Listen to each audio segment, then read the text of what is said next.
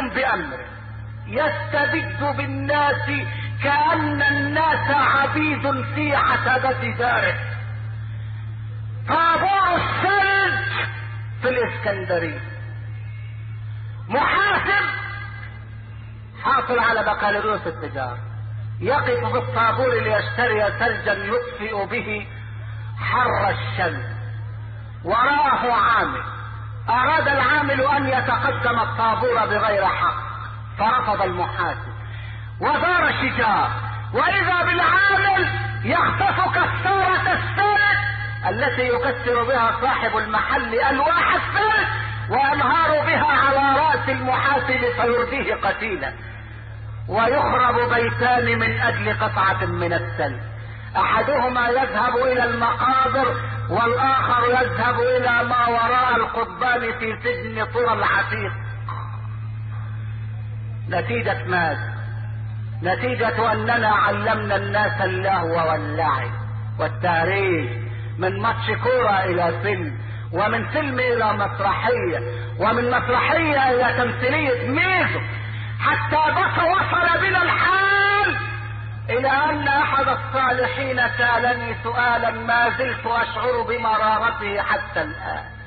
سألني وقال لي أريد أن أدفع صدقة الفطر أو زكاة مالي فلمن أدفعه؟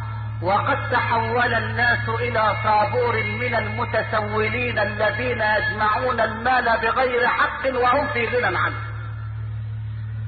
مشكلة مشكلة. إلى من ندفع مال الزكاة؟ أندفعها لهذه الطوابير على أبواب المساجد من المتسولين. إن التسول الآن أصبح وظيفة مريحة. أين الضمير؟ إن امرأة جاءت إلى النبي صلى الله عليه وسلم بنصف شاة بلحم مشوي. وقالت يا رسول الله تصدق بهذا اللحم على بعض فقراء المسلمين. فقال الرسول يا أبا هريره خذ هذا اللحم وأعطه لأم اليتامى. فذهب أبو هريرة باللحم وطرق باب أم اليتامى. فقالت الأم من الطارق قال أبو هريرة قالت فيما جئتنا؟ قال لحم أرسله لك رسول الله صلى الله عليه وسلم لتطعمي به اولادك اليتامى فقالت له يا أبا هريرة فانظر فهناك من هو أفقر منا فقد شبع أولادي وباتوا. ضمير يقف. قال أبو هريرة إذا كانوا قد شبعوا وناموا فخذيه حتى الصباح وأطعميهم به في الصباح. فقالت ام اليتامى كيف تقول هذا الكلام يا أبا هريرة؟ ارجع إلى رسول الله صلى الله عليه وسلم واساله هذا السؤال وقل له أم اليتامى تقول لك أتضمن لأولادي أن يناموا حتى الصباح؟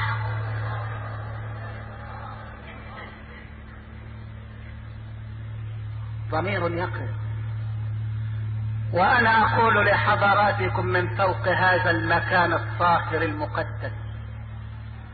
قبل أن تضعوا الصدقة اعلموا في أيدي من تضعونها إن الموظف في مصر من الدرجة السابعة فصاعدا أي فنازلا الثامنة والتاسعة والعاشرة إلى غير ذلك. الموظف في الدرجة السابعة إذا كان متزوجا فهو أولى بالصدقات من هؤلاء. إن هناك ناسا يقول الله فيهم يحسبهم الجاهل أغنياء من التعفف تعرفهم بسيماهم. لا يسألون الناس الحاقا. لا يلحون على الناس في السؤال. إن موظفي الدرجات من السابعة فما بعد ذلك إذا كان متزوجا أو معه أولاد فاشهد الله أن مرتبه لا يكفيه إلى منتصف الشهر. فهو أولى بمشروع هذه الزكاة وهو أولى بها من هؤلاء يتصنعون التسول ويتخذونه حرفة. قدم له زكاة مالك في صورة ثياب لأولاده في صورة أحذية لأولاده وهم على أبواب المدارس في صورة ثوب له في صورة بعض كيلو اللحم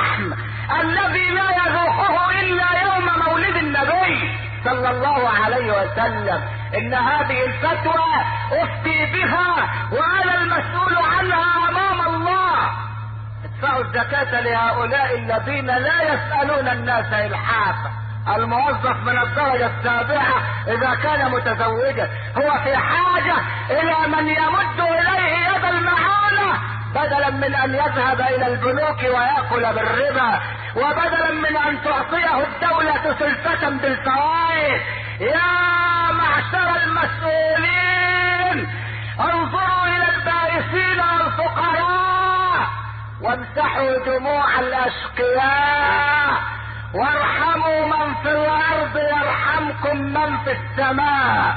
العيد داخل والمدارس بعده والجيوب خاوية والغلاء تنكمش بالبرودة والحرارة والغلاء يتمدد بالحرارة والبرودة. اللهم أصلح فساد قلوبنا. واستمع. يوم ينادي المنادي في قراءة من مكان قريب. المنادي إسرافيل. فماذا يقول في ندائه؟ أيتها العظام النخرة أيتها اللحوم المتناثرة قومي لفصل القضاء بين يدي الله رب العالمين. خد بالك. ولذلك شوف سيدنا عمر بن عبد العزيز عليه رضوان الله بيقول للحسن البصري عظنا يا تقي الدين. اوعظنا لأن إحنا بحاجة إلى وعظ وإرشاد وكل واحد في حاجة إلى أن يسمع الوعظ والإرشاد. فماذا قال له الحسن؟ ماذا قال الحسن لأمير المؤمنين عمر بن عبد العزيز؟ قال له يا أمير المؤمنين صم عن الدنيا وأفطر على الموت. وأعد الزاد لليلة صبحها يوم القيامة. صم عن الدنيا وأفطر على الموت. صوم عن الدنيا. وما تفطرش إلا لما الموت يجي. وعد الزاد والزواد لليلة. قال لا ده أنا هعمل زوادة الليلة. ده اللي بيعمل زوادة عشان بيسافر شهر أو ثلاث أشهر أو أكثر إنما أنا أعمل زوادة الليلة واحدة. لا إنها ليلة تبدأ بالموت ولا يطلع صباحها إلا يوم القيامة. في الليلة دي. ولذلك هم ليلتين كل واحد هيمر بيهم. بعد ما سمعنا الصلاة على الشفيع. ليلتان اثنتان.